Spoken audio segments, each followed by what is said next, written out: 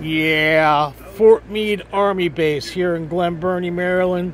The ones that love to use energy weapons against unsuspecting Americans who end up dying under really weird, weird circumstances like suicide, healthy people with cancer, and all kinds of stuff that these microwave weapons cause. Uh, voice of God weapon, first used in the first Gulf War with great success.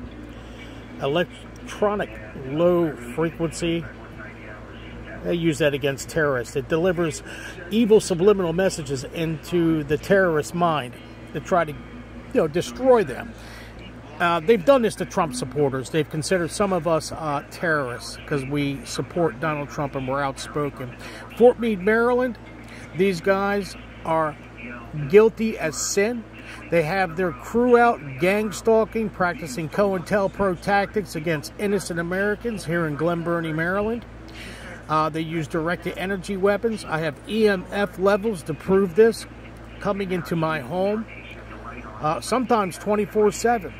I mean, you can see the Red Squad tactics on the street. I've taken videos of it for about 10 years now. Uh, Fort Meade made sure that I couldn't leave messages on their YouTube site. Uh, and they were legitimate comments that were blocked and taken down. So, whenever YouTube blocks my comments and uh, criminals at the Fort Meade Army Base blocks my comments, I always make a, uh, a little video. I'll say it again.